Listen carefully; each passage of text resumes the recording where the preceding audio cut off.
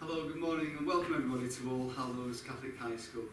Uh, you joined us this morning in our Year 11 Centre, which is very uncommon for any of our transition events because we're normally sat packed together in the Arts Theatre. But of course, these are very unprecedented times. This isn't the method that we would choose at All Hallows to welcome you to our school, but I think it's, uh, it's necessary at this time. So what you're going to get is a virtual uh, welcome a virtual transition event. And I'm joined this morning by my colleagues, Mrs Hall and Mrs Washington, from whom you'll hear in a few minutes.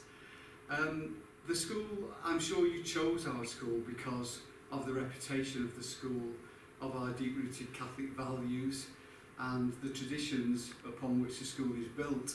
And of course, one of those traditions is a warm welcome, and this doesn't feel that way. We would have loved to have been sitting there in the Arts Theatre It's one of the highlights of the year actually because all of the fraughtness of the appeals processes are over and the applications are all processed and you become members of our community. But what I can reassure you of is that when we are finally back and all together at All Hallows, we will be looking after your children who are in year six at the moment because we know that even under normal circumstances, transition is difficult and we're ready to receive them and to try and settle them into school, whatever that might look like in September, and more information about that will come to you. You are also going to receive our pack of information, the transition booklet, and that's going to come to you um, via an email, and we're going to require a reply to that as well, and all the details will come to you in that email, so you can look forward to receiving that. So what we're going to do this morning is take you through our normal presentation that we give for transition. Um, and of course the slides refer to normal times and we might have to get used to a new normal in September and that's what I'll try to do. I'll explain how some of these um, differences might appear to you and your children when you come in September. So I'll start the presentation. Normally we talk about setting of pupils And it's a straightforward system. You can see the way that the groupings are put together on the slide here at the side of me. However, things are going to probably be different this year because the, the kind of data that we're used to receiving from primary schools is going to be slightly different. And we will give you more information on how we're going to group the pupils when they come in, when we know better the kinds of information that we can act upon uh, when it comes from the primary schools. And of course, how we may have to adapt the sizes of classes dependent on the advice we get from the local authority and the government on social distancing. What I can assure you of is any um, system that we put in place will have been um, closely risk assessed and that everybody will be as safe as we can make them with all the social distancing measures put in place uh, for your children. Our curriculum under normal circumstances is something that we're very proud of because it's rich, it's diverse, it's broad, and your children get um, this experience in year seven when they join us. And again, I keep having to emphasise under normal circumstances. If there's any change to the shape of this curriculum, of course, we will give you uh, information on that. So you can see that all the core subjects are there, and we, we have a breadth of curriculum because we believe in the education of the whole child. So you can see that there are elements of technology, art, drama, all kinds of different experiences for the children when they come to us at All Hallows. And at the bottom of the slide you can see reference to personal development because again we have a commitment to the education of um, social, moral, cultural aspects uh, of, your, of your children's upbringing as well. This is a typical timetable. Um, it looks confusing, of course, to a new year seven as they come in, but what we do is we give them some time with form teachers on day one, and they go through the timetable, they look at what the various codes mean, um, the initials of staff, the rooming, and they very quickly get used to following a timetable, which for them is very different, of course, because they're used to being static in a room in primary school, and they'll be moving from class to class but we reassure them of how that system works and we take them through that on day one when they join us. But what we do pride ourselves on at All Hallows is our academic progress and we want to get the children into the swing of learning as quickly as possible. So once they've had some time in their forms on day one, we get into lessons after break time. We get them used to following that timetable. As you can see from the slide at the side of me here, they're working away uh, in their art classes and other classes as soon as we can get them going. I won't dwell too much on the information about the wider aspects of school life because Mrs Hall in her section will talk to you uh, in much more depth. Just really to reassure you that the school has a rich curriculum but it has a rich wider curriculum as well. We really believe in the benefits of children being involved in uh, spiritual activities, residentials and other residential trips as well. So you can see here we have the Year 7 retreat programme for our Year 7 pupils. Um, many events during the week, uh, quiet time, reflection time. As I said, Mrs Hall will talk to you a little bit more about that. The end of our first half term though, we, we normally have a year, year 7 Mass of welcome. It's a, a brilliant event because it marks the end really of the first stage of transition for the pupils at school. It's the point where they feel fully integrated to the, to the school community and it's a great event that we can bring together normally parents, grandparents, and we, we have a lovely Mass of welcome at the end of that first half term. Again, if there's any change to that due to the kind of guidance we'll be given, then we'll pass that on to you as soon as possible. Performing arts um, figures heavily at All Hallows, and we know that we'll be having any number of gifted singers and dancers coming to us this year. Um, what we like to put on is a talent show at the end of year seven, and that will be led by Mrs. Culclough, our head of performing arts. Uh, again, a real highlight of the year seven programme. We like to keep you um, updated as often as we possibly can. There are many ways that we communicate with you, parent mail being the main one. Um, but as you can see from the programme behind me, there are a number of um, anchor points in the year in which we try to give you as much information as possible um, taking you through from September when there's the information evening. Again, that will be under review under current circumstances. Um, reports go home in November. January, more reporting and a chance to meet teachers in the parents' evening. And in April, a third report home. Um, and in July, the full uh, school report goes home. And again, I have to keep emphasising under normal circumstances, and hopefully we'll be back to normal as much as possible by the end of uh, next academic year. So that concludes uh, my part of the presentation. I'm going to hand over now to um, one of our senior leaders, Mrs Washington, who's in charge of pastoral care and safeguarding in the school. Good morning everybody, my name is Mrs Washington um, and as Mr Harriet said I am one of the assistant head teachers at All Hallows. My primary role is to look after pastoral care and part of that is looking after the transition process Um, another interesting part is actually I'm also a year six parent, so my little girl currently is at St Teresa's and some of the questions that she's asking me and some of the questions that you're probably asking yourselves and each other, they're always going through my mind. So hopefully um, the next few slides will address some of those. In addition, myself and Mrs Hall are also planning on doing a similar video to this um, for the year six children. Um, just looking at sort of questions and issues that they might be worried about that we're able to answer them and, and give that out to the primary schools to distribute. So that one will be with you probably in the next couple of weeks or so. So one of the things really that, that probably you're thinking about is uniform because that's one of the most exciting things, isn't it? Getting the uniform and getting them there on the first day year seven picture. Again, in these times, the uniform shops are not currently open. Um, but I have been in email contact with both our uniform shops, so that's just in Penwortham, and also the Delta Wool shops, which are in Lostock Hall, and Farington and New Longton. They are both offering um, a click and collect service at the moment. So if you just go on, online, look at the websites, they can give you all the, um, the prices and the information about the uniform. So don't worry about that. Now, in terms of the actual specifics, all the uniform details are actually in the booklet that we're going to be emailing out. But you can see here, uh, our youngsters are in the winter uniform. So they come back in September um, the girls are allowed to wear a white knee-length sock and blazers are optional up until October half term. Once October half term kicks in, after then we do ask for blazers and for the girls for the uh, 40 plus denier tights. So you can see there um, very similar apart from the, the chaps are in a tie, whereas the girls are in an open neck shirt. Moving on to PE, again all the details are in the booklet, um, but the PE uniform is quite similar. There are options for girls and boys, so obviously we have the option of a, a skirt for the girls. Again, shorts are still an option for the girls if they want to choose those instead. And we've got the um, optional tracksuit tops if they want to buy those as well, and then the optional leggings or tracksuit bottoms.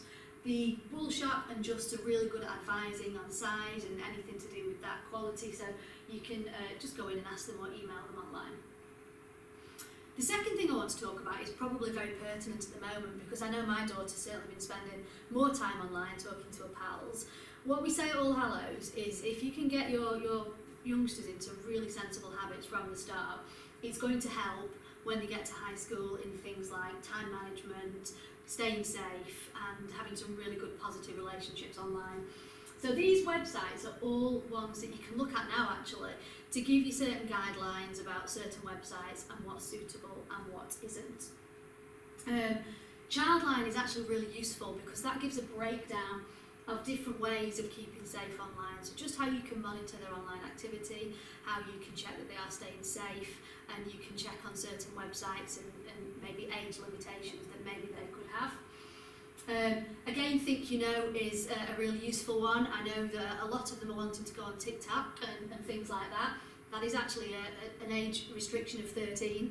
Um, and websites like this tell you certain information about that and how you can put restrictions on certain websites to make them safer for your son or daughter. And then finally, this is something that's more child friendly. So the NSPCC website gives you certain updates on apps because obviously apps are coming out all the time and quite often the young people are faster than we are at working out what the latest cool thing is. This gives you the latest updates on certain apps and what the logistics are about keeping safe with those. And finally from me is buses. Now again, this is a big question, isn't it? We're not entirely sure what's going to happen um, in terms of school transport. I would just suggest at the moment you follow government guidelines on that and, and just check out what the latest is because that's what school will be doing. But just to give you the normal picture, we do have five school buses and they pick up from as far as Southport in that direction, um, Lostock Hall, Bamber Bridge, um, and also coming through Leyland. So we have got five services. In terms of how equipped they are, that's the standard Preston bus we've got there. Most of them are double deckers, although we do have a single decker. Um, all buses have bus prefects on, so those are pupils from year 10 and year 11 who are directly reportable to me. So they check out the behaviour on the buses and quash any poor behaviour if there is any, and then they report that behaviour to me and I, I deal with that in school. We're very lucky, we have very loyal bus drivers who um, very, very seldom report poor behaviour on the buses. Um, and they have been with us for several years because the, the standards of our behaviour on buses is excellent, they say. They also have CCTV for your assurances, so if something does happen, I'm able to view that and very quickly deal with what's ever happened appropriately. Um, in terms of bus passes, they are super expensive, they are going up every year. Um, I can't give you an exact price, but if you go to the website there, the lancashire.gov.uk website, that will give you all the up-to-date information on bus passes, bus routes, timetables and things like that. In terms of uh, buying a bus pass, it's really up to you what you want to do. Quite often, um, you might find that if you do buy one, then in September some of the young people might start doing after school activities so you find out that you're not actually getting that home journey cost Um, what you can do is be a paying customer, so you might want to see what it's like for the first few weeks, get them to pay, and then if you think a bus pass is going to be worth your while, then um, you, you could go on the website and, and look into that in a little bit more detail. Um, I'm going to hand over to Mrs Hall in a second, but what we are actually going to do is usually at the end of this presentation we would take questions, obviously that's not appropriate today, but we are going to put my email address and Mrs Hall's email address onto it so that if you do have any queries or worries, you can contact us direct and we'll get back to you uh, pretty quickly with answers. Okay, so take care and hope to see you soon. Good morning. Um, so I'm Mrs Hall, head of Year 7, and I'm going to talk you through a few more parts of the, the transition process. So as Mr Horrocks spoke about earlier, we do hopefully lots of trips um, as the year progresses. We, we do lots of retreats, lots of getting to know you, games and, and trips for the children, particularly who come from non-feeder schools, uh, to help them settle. And hopefully as the year goes on, sometimes we do a French trip, Uh, we do a rewards trip at the end of year seven, so there's lots for them to, to look forward to. Um, in terms of the team that will be looking after them, there's myself um, and my assistant uh, learning manager, Mrs Donahue, and then we've got a team of six form tutors who are all well practiced at, at looking after year sixes and answering any questions that, that they might think are, are really small. Um, they're, they're well used to answering questions like that. We've got teaching assistants in the first few days as they're settling to help them as well with things like lockers and pencil cases and getting set up with all their equipment. And hopefully 180 pupils as well. Um, so there's myself and Mrs Donahue. That's this year's form tutors. Um, there are six form groups in total Um, and they'll meet every morning, Tuesday to Friday. Monday we have an assembly, so we all meet as a year group again. Hopefully that will be happening from September. Um, uh, but they'll, they'll meet their form tutor every morning. So that's a really important time for them to be able to ask any questions or mention anything that's worrying them and the tutor, like I say, will be really well practiced and, and really familiar with the sorts of questions that Year 6 will have. Um, one lesson per week, as Mr Horrocks said before, is for personal development. And often they are taught by, for year seven, they're taught by form tutors. So that might be another opportunity for them to get to know their form tutor a little bit better. So here's the school diary, if you're not familiar with it. Um, it's probably the most important thing that the pupils will be given. Um, it, it should keep them, if they use it properly and well, it should keep them really well organised and make sure that they're on top of their homework. But it's also really important for communication between me and home and their teachers and home and their form tutor and home. So, um, if you see where this red arrow is, that's where you can write notes in if there's anything you need to let the form tutor know or myself. Um, but it's also where you'll see things like red writings, green writings and gold writings, and I'll talk a little bit more about those later. Um, at the bottom here, um, there's space for a signature from you and their form tutor. And we ask that their diary is signed every week by you, and it's really important that it is seen by a parent at home, just so that you know that they're getting enough homework, that they're doing the homework, that if there's any sort of issue going on in school or in a particular lesson, that will be communicated by their school diary. So if you can, obviously we're in assembly Monday, if you can sign their diary over the weekend or Monday evening, we'll check it on a Tuesday if it's not signed, they get one more chance. If it's not signed by Wednesday, they then do a lunchtime detention. And that we, we, we start pretty quickly with that because it's just about getting them into really good habits of, of them bringing their diary to you and you having a little look in there. So um, we give them a couple of weeks to settle and then we start in with that. Um, this is what a good diary should look like. Um, plenty of homework in there. They'll get at least two to three pieces um, a day and if you can see down the side they just write the subject, a quick description of the task and then they've got a date that it's due and then the, the box to say that it's been done. And you can see in this one here in the comments section there's uh, green writings there um, which are a sign of something positive which I'll talk about in a second. So things you can do at home to be helping.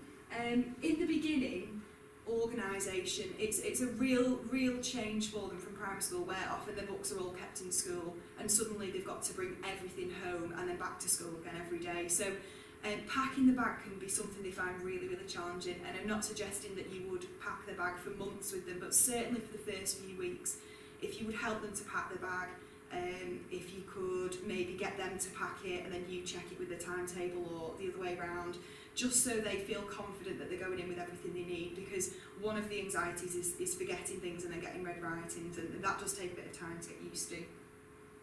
Equipment, um, if you can just make sure they've got everything they need and again there'll be a list in the pack that's been emailed home of, of the things they're likely to need um, and just make sure they've got all that with them and that kind of ties in with packing their bags. Um, routine is a massive one. If if you can get into a good routine from day one, that will be really helpful for them and you. And, and it's just whatever works for your family. So if it works that they come straight home and get their homework done straight away, if that can become their routine so they know homework is important, it has to be done, or if they come home, they have the tea and then do homework, whatever it might be. We also have a homework club after school that runs Monday to Thursday and that's until four o'clock, so that might be something that fits into your routine to help. Um, the planner, as I said before, really important that it's seen and signed every single week. Communication, um, again, particularly for year seven, this is a really important one.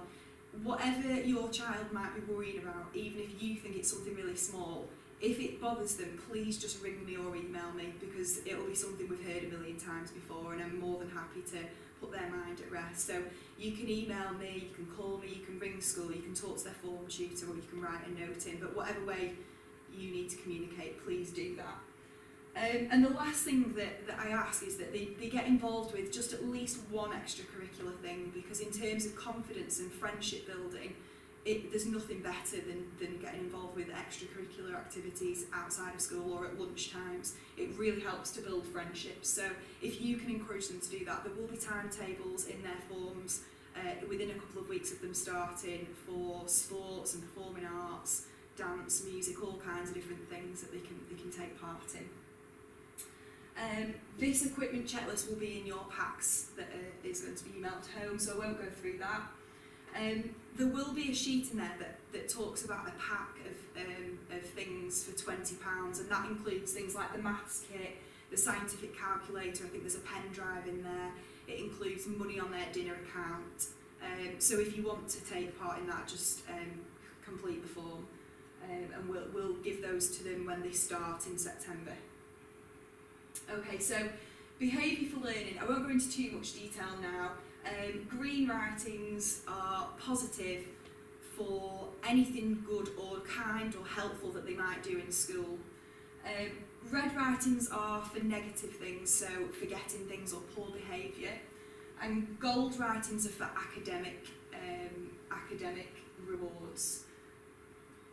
Um, so this is the behaviour for learning policy that we'll go through, and their form sheet will go through this um, as soon as they meet them.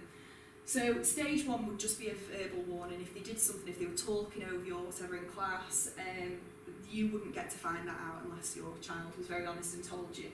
Stage two, if they had to be spoken to again, would be a red writing in the diary. And so that's when you'd start to see things flagging up in the diary. And that's why it's really important that you check their diary every week.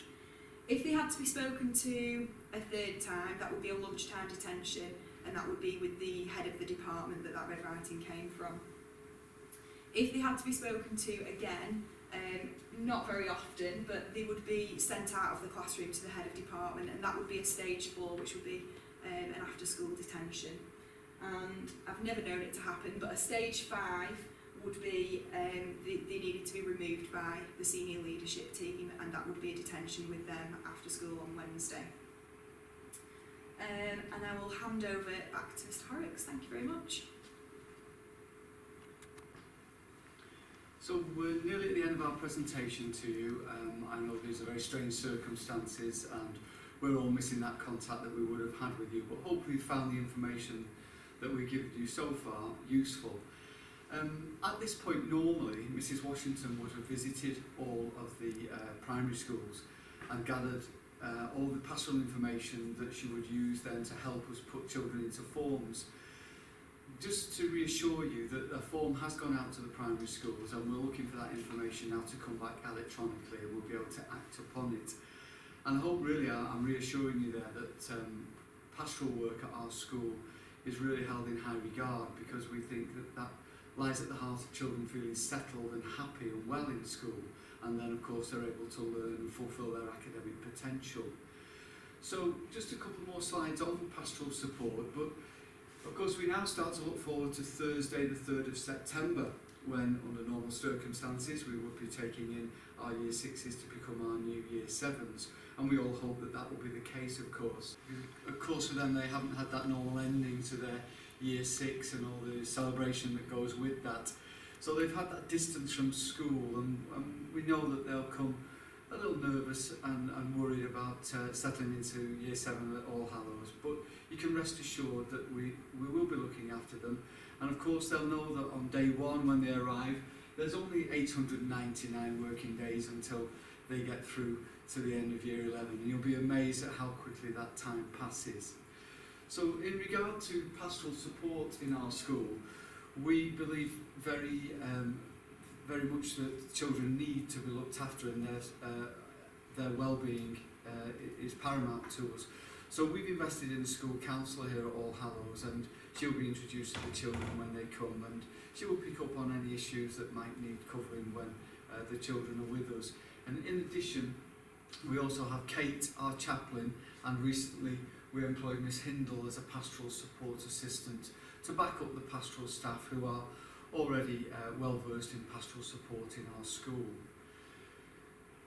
So that concludes our presentation. We look forward to seeing you all in September and as Mrs Washington said before, the communication is key here for us all. So please don't hesitate to also contact me here at school. Um, my details will be in the information that comes out to you and then we look forward to seeing you in September. Thank you.